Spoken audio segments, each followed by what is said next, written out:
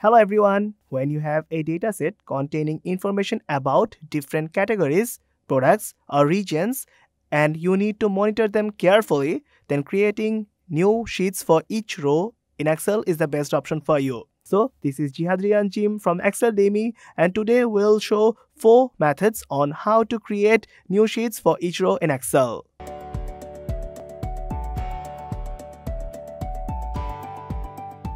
Before going into the methods, let's talk about the dataset a bit. Here, we have the name of the employee, their January and February income, and their total income in column B, C, D, and E. Our target is to create new sheets by using the first cells of row 5 to row 9, that means B5 to B9. For this tutorial, we'll be using Microsoft Excel 365. So without any further discussion, let's get started. In this first method, we'll be using pivot table to create new sheets for each row of row 5 to row 9 first values that means B5 to B9. At first, we need to select the values of B4 to E9 go for the insert tab and here in the tables you'll go for the pivot table select from table or range to open pivot table from table or range dialog box. And here check whether the selection is correct or not. Then as we're trying to get the output in the existing worksheet so select it. And as location of the output we'll go for the G4 press OK. And at the right side you have got the pivot table fields. As we are trying to show the first values of row 5 to row 9 we'll select the name column and it will automatically go for the rows portion. Now we need to drag it to the filters to show it as multiple worksheets. So select the rows name and drag it down to the filters option. Now you'll notice you've got the name range in the window in the G2 cell. After that, you'll go for the pivot table analyze tab. Go for the pivot table in the active field in the options, you'll select Show Report Filter Pages to open Show Filter Ranges dialog box. See whether everything is selected correctly or not. Click OK and now you will see you have got the new sheets for each first value name of the row 5 to row 9. In our second method, we'll be using VBA application.proper method to create new sheets for each row. At first, in this case, we want to create the sheets by using the first values of row 5 to row 9. And to use this VBA code, we need to enable the developer tab. Go for the file tab. In the options, we'll open the Excel options and then we'll go for customize ribbon. And here in the customize ribbon main tabs, we'll select the developer tab. Click OK to enable the developer tab. Go for the developer tab in the code go for Visual Basic to open Visual Basic Editor. Here you need to go for the sheet 3, double click on it to get the Visual Basic Editor. You need to remember that you can only insert the code in this sheet otherwise the code won't work as it is only designed for this sheet. We have already copied our code from the source code and we need to paste it here by using Ctrl plus V in the keyboard. You can easily copy the code by going into the article linked below. Now let's talk about the code a bit. Here we have the name of the code by using sub rows to new sheet. In the next line, we have defined our three variables which is AWS as worksheet and the last row.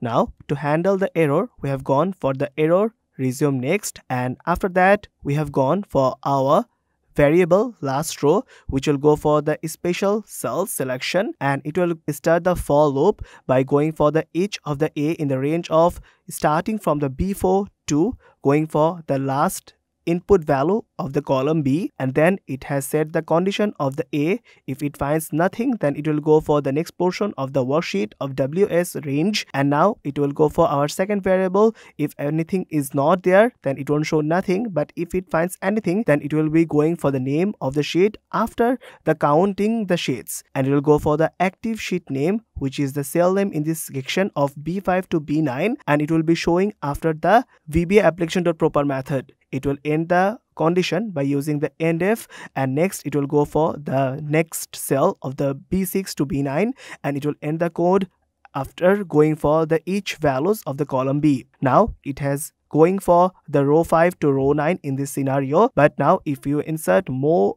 values in this case then it will show more rows here. So let's go and check whether the code is working correctly or not. So let's go for the run option and click on the run. And now you'll see that the first values of row 5 to row 9 is showing in multiple sheet names. So that's how we can create new sheets for each row in excel we can also use input box VBA code to create multiple sheets for each row. At first, we'll go for the name of the worksheet, which is input box. Right click on it and select view code to open Visual Basic Editor here. Here at the right side, you will insert the code you have copied from the source code, paste it here by using Ctrl plus V. You need to remember that the code need to be inserted in the sheet 4 input box. Otherwise in any other sheet the code won't work. You can easily copy the code from the article link below. At first we have our first line of the code which is sub create new sheet which is the name of the code. And then we have our first variable as range second variable as cells which will be also connect as the range. And next we have the arrow to handle the error and we need to set the range from the input box of select cell range and for going to the next step we need to go it as the title of create sheets. And for the next portion we need to set the default portion of the selection address and it must be in the character 8 section. Now we have started the for loop section of each cell range variable. And if it finds any kind of condition of nothing then it will go for the next portion of the cell range of b5 to b9 and after that you will go for the endif section by ending the condition. If it finds everything correct, then it will move on to the next cell range, handle the error by going for the error handling, and after that, it will end the code by going for the end sub. So let's go and check whether the code is working correctly or not. You'll select the run option click on the run and as the create sheet you'll go for the first values of row 5 to row 9 that means b5 to b9 click ok and you will see you have created new sheets for each row in excel in our last method, we'll use defining row numbers to create multiple sheets for each row. So at first, right click on the worksheet name, go for the view code and here we'll find the sheet 5 defining row numbers. You need to insert the code correctly on the sheet 5 only because otherwise the code won't work. So let's go for the sheet 5. We have already copied our code from the source code. We'll paste it here by using Ctrl plus V in the keyboard you can easily get the code from the article link below. So let's talk about the code a bit. Here we need to adjust it a bit so that it can be shown perfectly. So here at first we have the name of the code sub row to sheet.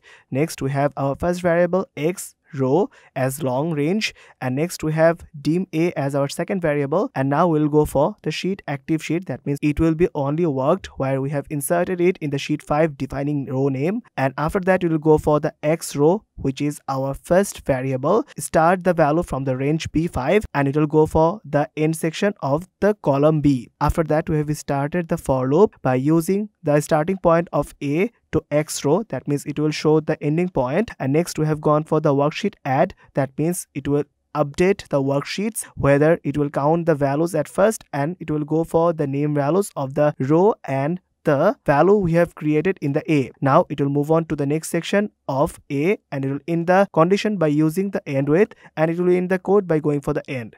If we click run on it and see whether the code is working or not. Then you will see that you have created row 5 to row 9 sections here by using the VBA code. So that's it for today. You can follow these methods accordingly or you can download the practice workbook from the link below. Hope this will help you. If you have any questions, suggestions or feedback, please let us know in the comment section or you can have a glance at exceldemy.com. Thanks for watching our video. If you like this video, please consider subscribing for more content like this.